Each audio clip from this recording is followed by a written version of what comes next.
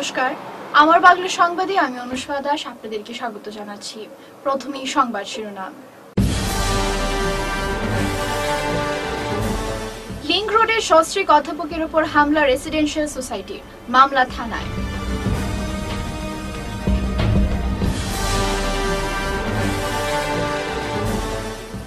করিমগঞ্জে ব্যাপক পরিমাণে হেরোইন বাজেয়াপ্ত। গ্রেফতার পাচারকারী।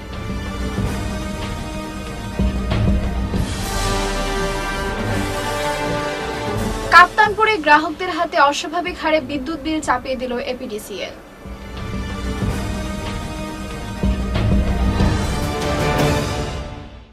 এবারে বিস্তারিত আমার বাংলা সংবাদ। শিলচর প্রথম লিংক রোডের একটি ফ্ল্যাটে থাকা আসাম বিশ্ববিদ্যালয়ের এক সহকারী অধ্যাপক ও তার স্ত্রীর উপর সোসাইটির কর্মকর্তারা সহ সিকিউরিটি গার্ডের প্রাণঘাতী হামলায় তীব্র চাঞ্চল্য দেখা দিল গোটা এলাকায়।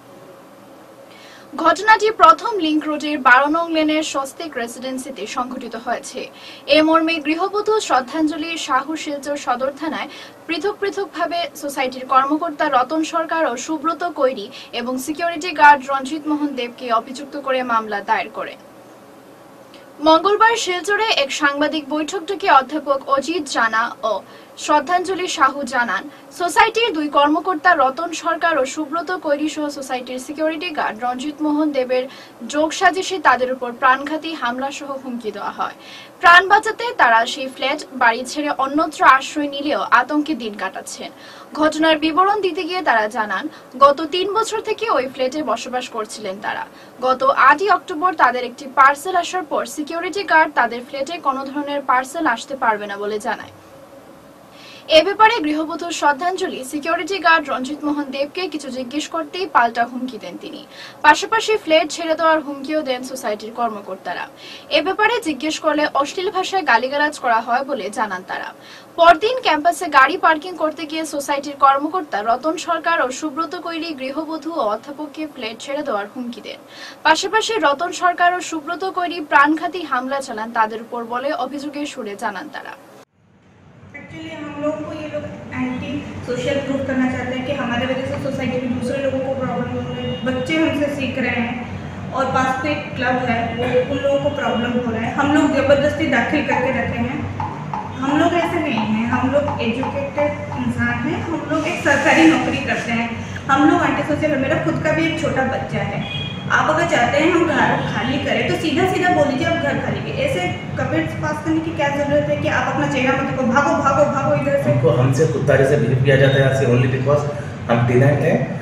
और दोस्तों मैं कोई चीज़ बताना चाहता हूँ मेरे मकान मालिक को से कोई दिक्कत नहीं है। मेरी वाइफ को पिछले तीन साल से सब मेंटल टॉर्चर कर रहे हैं यहाँ पे। बोल रहे ये ऐसे नहीं वैसे नहीं इधर ऐसे मतलब को जूता वैसे मतलब को इधर ऐसे मतलब को जबकि पूरे अपार्टमेंट में मैं मीडिया के सामने कहना चाहता हूँ आप हमारे घर आइए घर हम आइए। कैसे रहते हैं हम कैसे रहते हैं? सबसे अच्छा मकान सबसे साफ़ सुथरा मेरा ही घर को मिलेगा। मेरे घर में दो दो नौकर हैं दोस्तों। एकदम अच्छे से संभाल कर घर का हुआ है। और ये लोग पता नहीं किस बात की इनको खुंदस है। ये हमेशा कुछ तरह की बातें करते हैं। तो मैं सोच रहा हूँ कि घर छोड़ दूँ। लेकिन मुझे जस्टिस चाहिए। जो उन्होंने हाथ उठाया मेरी वाइफ पे भी मैं चाहता हूँ सच्चाई सबको पता चले।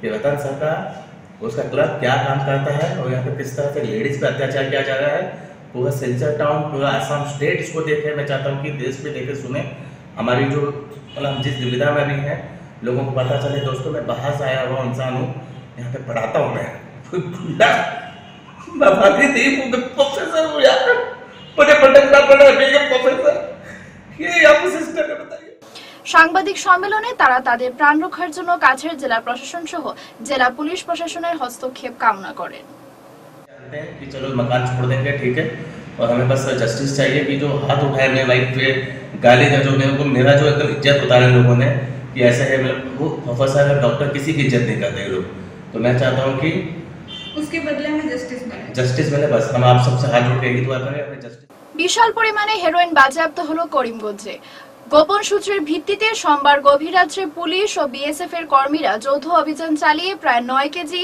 চারশো সাতাত্তর গ্রাম হেরোইন বাজেয়াপ্ত করেন। মোট সাতশো চৌষট্টি সাবানের বাক্সে রাখা হয়েছিল এই মাদক দ্রব্যগুলো। পাশাপাশি পাচারকারী সহ মাদক দ্রব্য পাচারে ব্যবহার করা লরি আটক করা হয় বলে বিএসএফ সূত্রে জানানো হয়।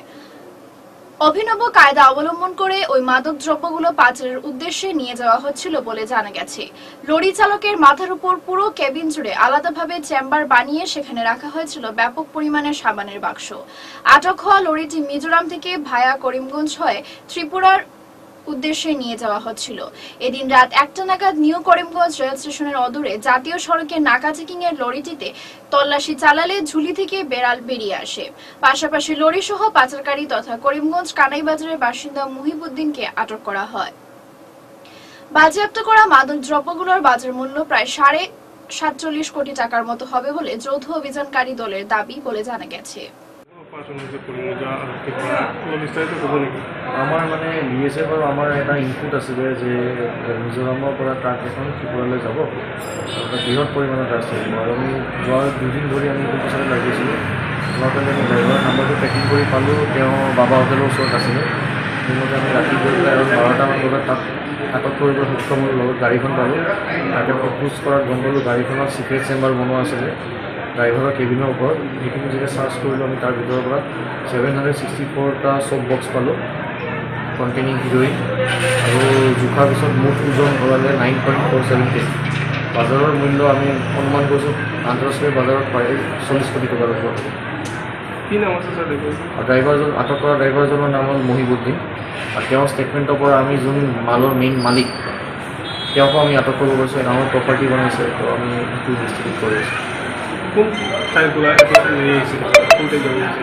এইখিনিতো আমি যিমানখিনি গম পাওঁ মিজোৰামত লডিং হৈছে কিন্তু তদন্ত কৰাত গম পাইছোঁ আমাৰ ইয়াতে লোকেলতো কিছুমান ইনভলভ আমাৰ প্ৰচেছ চলিছে প্রায় দু মাস বিদ্যুৎ বিচ্ছিন্ন থাকা সত্ত্বেও অস্বাভাবিক হারে বিদ্যুৎ বিল তুলে দেওয়া হলো বিদ্যুৎ গ্রাহকদের হাতে। এর কারণ জানতে গেলে অন্ধকারে ঢুকতে হলো বিদ্যুৎ গ্রাহকদের।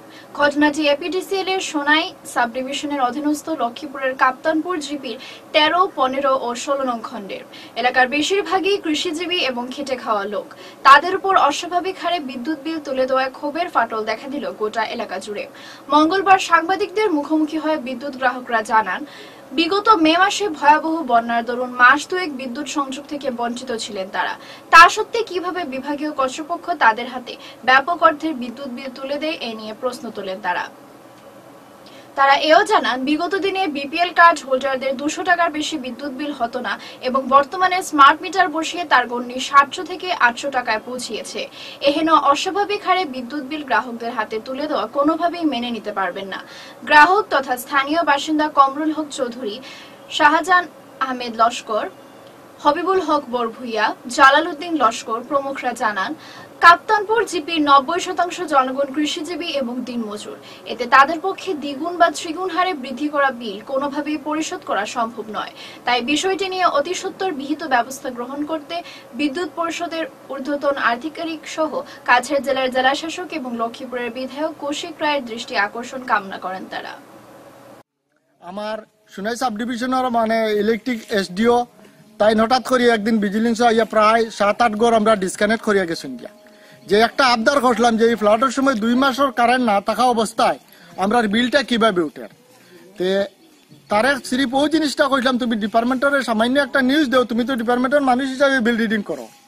তবে একটা জিনিস জানাও, দুই মাস ডিসকানেক্ট করা আসলো, এখন পাবলিকে একটা জিনিস, আমি নিজে পাবলিকও আমার আমার আবদার করলাম জানাও যে এইভাবে আটশো নয়শো হাজার টাকা কীভাবে বিপিএল হোল্ডারের বিল আই গেছে চল্লিশ দিনে। তবে কারণ থাকা অবস্থায় যদি আইতো তো বুঝলাম কেউ জ্বালাইছে, কিন্তু না থাকা অবস্থায় খেনে আইলো বলে তার কুয়েকশন করায়, এইখান থেকে গিয়া তার এসডিও রে যাইবা, এই সেই নানানটা কইছে। এর পরে আইয়া বিভিন্ন হেম্পার নিয়ে এসডিও বিভিন্ন লাইন ডিসকানেক্ট করছইন আর এখনও বর্তমানে আমরা বুকিতে আছি যে এই লাইনটা আগে ফ্লাডের আগে এক লেভেলে তব আমরা গড় একশো, দেড়শো টাকা, দুইশো টাকা এরকমের মানে এবারে যে বিল আইছে বা মিটার রিডিংও আইছে।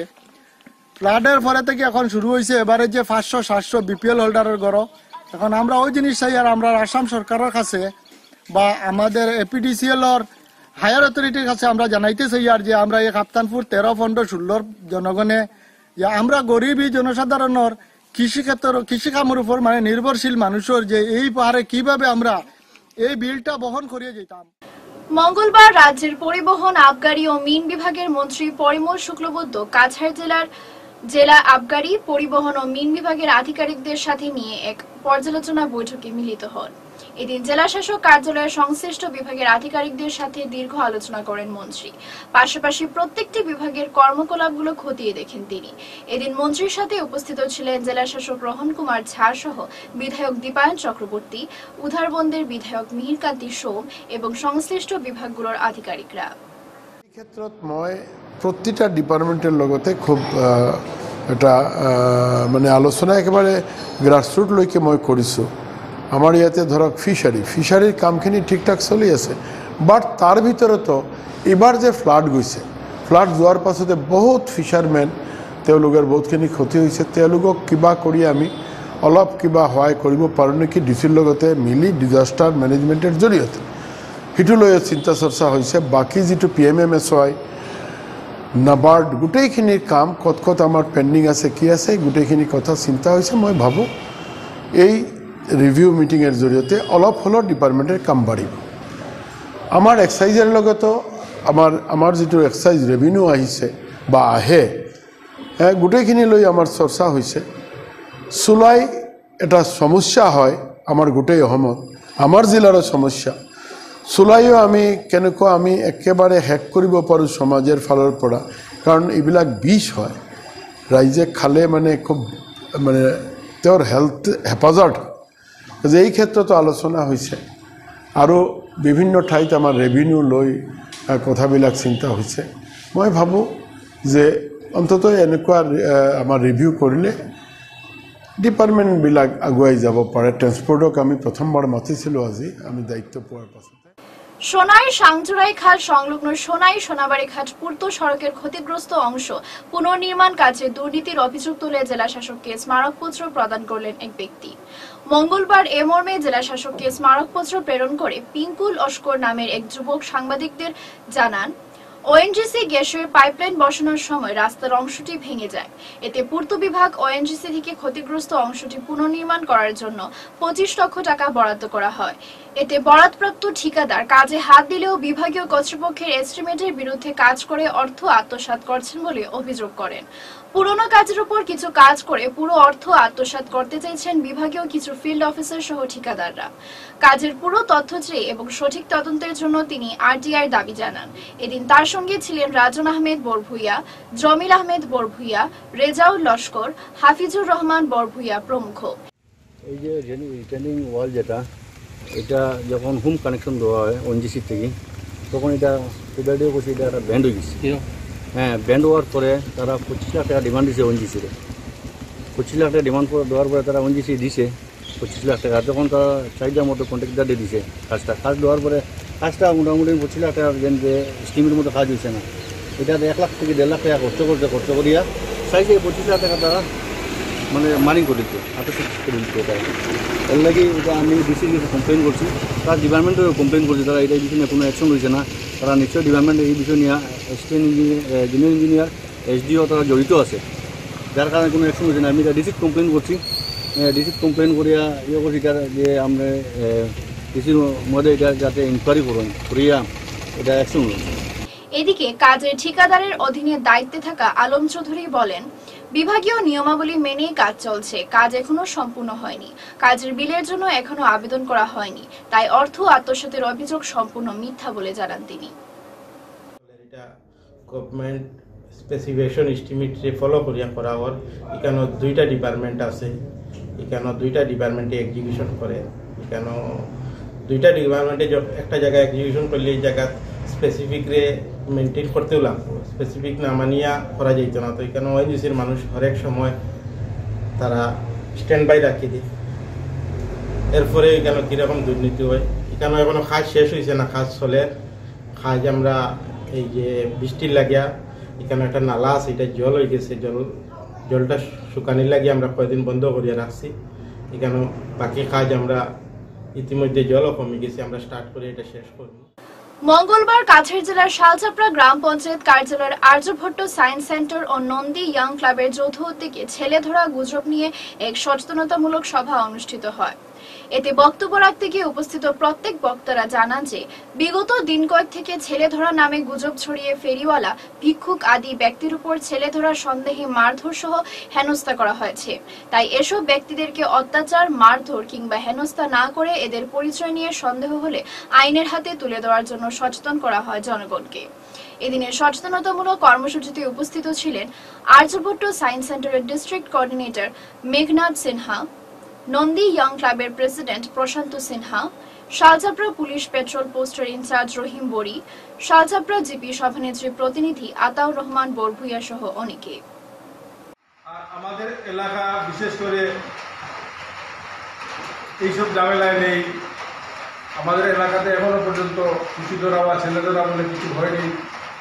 মানুষ খুবই সচেতন। তবুও কিছু হতে আসামের বিভিন্ন জায়গায় আমরা পত্রপত্রিকায় হোক সোশ্যাল মিডিয়ায় হোক, দেখে আসছি। এই খুশি ধরা বলে বা ডাইনি বলে, ডাইনি তো আমাদের দিকে কোনো কথাই হয়নি, কোনো কিছু শুনিনি। বাগান এলাকাতে হয়তো হতে হতে পারে। তবুও আমরা সচেতনতা বৃদ্ধি করতে হবে মানুষকে সজাগ রাখতে হবে বিশেষ করে আমাদের এলাকাতে অনেক অচেনা মানুষ আছে। ফেরি নিয়ে হোক, এমনিতে কোনো কাজে হোক যদি কারও কোনো সন্দেহ হয়ে থাকে, তাহলে প্রথমে আমি বলব প্রশাসনকে, আমাদের কিনারে সালচাপটা পেট্রোল পোস্ট আছে, তাদেরকে জানিয়ে দিলে তারা বিহিত ব্যবস্থা মঙ্গলবার আসামের প্রাক্তন মুখ্যমন্ত্রী প্রয়াত তরুণ গগৈর উননব্বইতম জন্মবার্ষিকী উপলক্ষে করিমগঞ্জ জেলা কংগ্রেসের তরফ থেকে যথাযোগ্য মর্যাদায় দিনটি পালন করা হয়। প্রয়াত মুখ্যমন্ত্রীর জন্মবার্ষিকী উপলক্ষে এদিন বেলা এগারোটা নাগাদ এক সাফাই কর্মসূচি অনুষ্ঠিত হয়। পরে দুপুর বারোটায় প্রয়াত মুখ্যমন্ত্রীর প্রতিকৃতিতে মাল্যদান সহ পুষ্পার্ঘ অর্পণ করা হয়। এদিন জেলা কংগ্রেসের সভাপতি রজত চক্রবর্তী পৌরোহিত্যে এক আলোচনা সভা অনুষ্ঠিত হয় জেলা কংগ্রেস কার্যালয়ে। আলোচনা সভায় উপস্থিত ছিলেন জেলা কংগ্রেস সভাপতি রজত চক্রবর্তী, শহর ব্লক কংগ্রেস সভাপতি তাপস পুরকায়স্থ, জেলা পরিষদ সদস্য হাজি আব্দুল শুকুর, শঙ্কর মালাকার সহ অনেকে। রাহুল গান্ধীজির নেতৃত্বে কংগ্রেস যেভাবে চলছে, আমি মনে করি আসামের মধ্যে কংগ্রেসকে এগিয়ে নিয়ে যাওয়ার নেতৃত্ব আগামীতেও গড়ে উঠবে। বন্ধুগণ, এই তরুণ গগৈ এমন একজন ব্যক্তিত্ব ছিলেন যিনি অনেক সৃষ্টি করে গেছেন, যাকে আমরা স্রষ্টা হিসাবে বলতে পারি। আজকে আসামের যিনি মুখ্যমন্ত্রী হেমন্ত বিশ্ব শর্মা। ইনি তরুণ গগৈ উনার স্রষ্টা। আমি আজকের এই সভার মাধ্যমে এটা বলতে চাই যে উনি হাতে ধরে হেমন্ত বিশ্ব শর্মাকে পনেরো বৎসরের যে মন্ত্রিসভার তরুণ গগৈর মুখ্যমন্ত্রীর যে রাজত্বকাল, সেই রাজত্বকালে হাতে ধরে উনি হেমন্ত বিশ্ব শর্মাকে সৃষ্টি করেছেন। মাত্র কয়েক ঘণ্টার বৃষ্টিতে করিমগঞ্জের ছন্তর বাজারে জমা জলে অতিষ্ঠ হলেন ব্যবসায়ীরা। এতে নাজেহাল হয় একাংশ ছন্তর বাজারের ব্যবসায়ীরা তীব্র ক্ষোভ ব্যক্ত করেন। বিশেষ করে ছন্তর বাজারে জমা জল নিষ্কাশনের সুব্যবস্থা না থাকার ফলে সামান্য বৃষ্টিপাত হলেই ছন্তর বাজারে জমা জলের কবলে পড়ে ব্যবসায়ীদের ভোগান্তির শিকার হতে হয় বারংবার। সোমবার রাত থেকে বৃষ্টির ফলে শহরের ছন্তর বাজার ছাড়াও শহরের বেশ কিছু এলাকায় বৃষ্টির জল জমতে দেখা গেছে। এতে পক্ষান্তরে জনসাধারণ পৌরসভাকেই দায়ী করেছেন এদিকে জমা জল সম্পর্কে পুরপতি রবীন্দ্র দেবের মতামত জানতে চাইলে তিনি জানান ছন্তরবাজারে জমা জলের নিকাশি ব্যবস্থার জন্য ইতিমধ্যেই এস্টিমেট করা হয়েছে। আগামী দু এক মাসের মধ্যেই এর সঠিক সমাধান হবে বলে আশ্বাস দেন তিনি। অনেক আগে থেকেই আমি একটা চিন্তাধারা নিয়েছি এবং আমার ইঞ্জিনিয়ারকে বলেছি আমি ওটা ড্রেনটাকে ক্লিয়ার করার জন্য একটা এস্টিমেট বানানোর জন্য তো প্রায় কাজ সম্পূর্ণ হয়ে গেছে, পূজা গেল মধ্যখানে একটু সমস্যা আছে, আর আমি আশা করি এবারের যে সিজন তার মধ্যে আমি এটা কাজ করে নেব। আমি নিজেও বুঝতেছি যে বাজারে অনেক সমস্যা হচ্ছে, আমার দুঃখ হয়। তো এগুলো পূর্বের সব জমানো ঝাবড়াগুলো ওগুলোকে সাফ করা হয়নি আগে। আমি এগুলা এখন চিন্তাধারা নিচ্ছি। আমি ভালোভাবে এটাকে করে ওই সন্ত বাজার থেকে যে একটা রোডের ভিতর দিকে এসে যে একটা হিল পাইপ এসে নটিকালে পড়েছে নটি আকারে সেটা পর্যন্ত আমি সাফ করে যাতে সমস্যাটা পার্মানেন্টলি সমাধান করা যায়, সেই চিন্তাধারা নিয়ে আমি একটা স্টিমেট বানাচ্ছি। আমার জন্য বলেছি, উনি কাজ করছেন। আশা করি যেন সেটা সম্পূর্ণ হয়ে যাবে। আর ফান্ড কোথা দেখে দেবো সেটা নিয়ে আমি আমার অফিসের সাথে আলোচনা করেছি। আমরা দুজনে বসে এটাকে একটা লিখিত মানে সামনের বর্ষার আগে এগুলো হ্যাঁ সেটা ওই দু এক দু মাসের মধ্যে সেটাকে আমরা একটা লিখিত ব্যবস্থা গ্রহণ করব। শেষ করার আগে বিশেষ বিশেষ খবর আরও একবার। লিংক রোডের সস্ত্রীক অধ্যাপকের উপর হামলা রেসিডেন্সিয়াল সোসাইটির মামলা থানায়।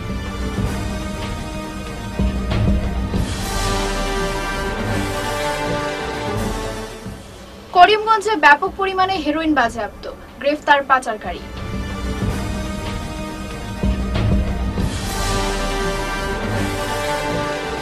কাপ্তানপুরে গ্রাহকদের হাতে অস্বাভাবিক হারে বিদ্যুৎ বিল চাপিয়ে দিল এপিডিসিএল